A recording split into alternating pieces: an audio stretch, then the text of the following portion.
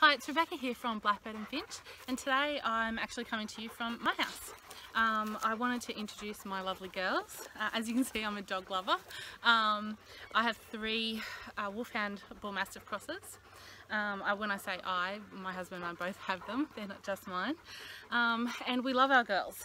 Uh, so I want to talk to you today about pets that are suitable for different types of properties. Now obviously I've got the three big girls, but my front yard, we're on a rural property, um, and my front yard is about three to four acres. Um, so the girls have lots of room to run around and play, and as you can see they're very loving and, um, and happy here. Now, if I lived in town, uh, on a 600 square metre block, then the pet that I would choose would be quite different.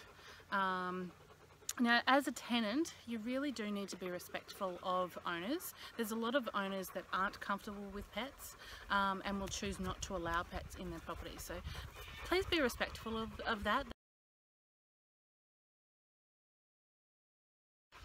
Now it is my experience that most pet owners will repair damages that their, their, their dogs cause, um, just like kids. If, it, if a kid accidentally slammed a door and, and cracked or broke the window, you would have to repair it. So just be mindful that you will be up for those costs because in Queensland, unlike other states, uh, we don't have pet bonds, um, which I think a, a, lot of people would prefer, but it's something we just don't have at the moment. So um, if you do have a pet, I have written a blog um, about tips um, to get approved on a rental property if you are, if you do have a pet. Um, so I'll put that link on this video.